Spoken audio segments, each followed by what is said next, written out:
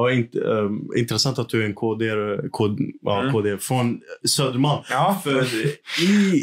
Generation Z så har det varit mycket kritik mot Södermalm. Mm. Om du har märkt våra tidigare episoder, ja, då, då har de eh, främst kallat att Södermalm gillar mer vänsterideologiska partier. Ja, men alltså det är en bubbla. Är, jag, Ja. jag är den första att säga det. Alltså, det, är en, det, är en, det, är en, det är en trygg liten bubbla där Ja. människor har ett väldigt högt tonläge men de lever inte som de själva lär. Det är, liksom, det är Sveriges mest journalisttäta stadsdel.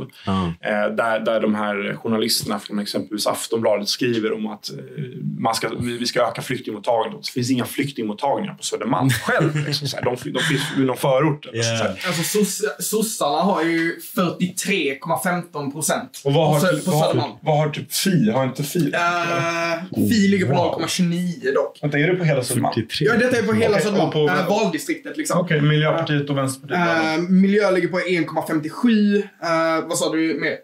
Eh, Vänsterpartiet. Vänsterpartiet. Vänster uh, 9,59. Wow. Det, det är ganska högt Så, faktiskt. Ja, så det- so- sossarna har ju tydlig majoritet. Ja, och det, är en, det är en riktigt grov majoritet. Ja, nej, och det är ju, det är ju alltså det är inga... Det finns ju en liten, det finns ju en liten kontroversiell benämning av dessa människor. Rödvinskommunister. Jag vet inte om ni har hört talas om det. De sitter i sina, de, de sitter i sina eh, 10 miljoners lägenheter med och dricker vin och tycker synd om människor. Eh, liksom det är så här, det är, och röstar vänster, men kanske inte gör så mycket själv. Eh, och det är goda människor. Det är, det är människor som gillar att, att framföra sig själv som goda människor. Precis. Fast de inte på något sätt är en del av, av det i praktiken. Men det är ju lite som han eh, miljonär, nu minns jag inte exakt vad han heter, som eh, köpte upp eh, mängder med Lenin-statyer eh, och ville skapa, vill köpa upp en park och göra det till I en? Lenin-park. I Sverige. Eh, så ville han köpa upp en park och liksom försökte aktivt köpa upp en park eh, som man bara skulle smälla upp mängder med Lenin-statyer i.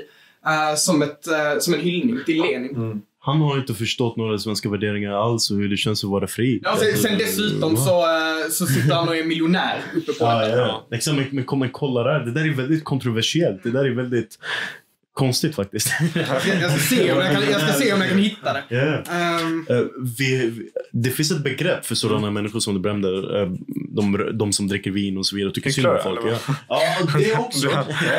Och även social justice warriors. Ja, Jo, här har vi det, Eh, Lasse Diding.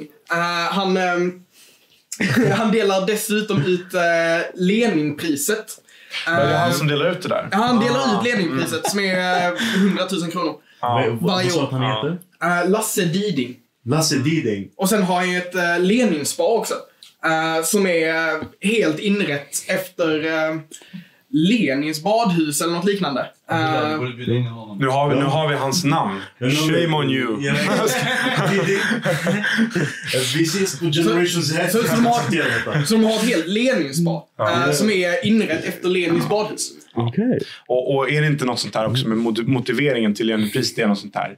eh, För person som har, har kämpat för social rättvisa. Eller, det, jag tror att det är något sånt där som är, som är motiveringen. Social rättvisa. Så, Ja, men något sånt där. så han är mil- miljonär? Folkmord, eh, social rättvisa. Ja, ja men det är det vi har sett i alla fall från Sovjets perspektiv och Nordkorea. Alltså. Jo, men det, det är till en eh, svensk yngre eh, skribent eller konstnär som arbetar i en marxistisk anda. Ah, Okej, det, var, det var inte Marxistisk anda. Marxistisk anda. Mm. Mm. Marxistisk anda. Mm. Ja, det låter som en väldigt kontroversiell anda.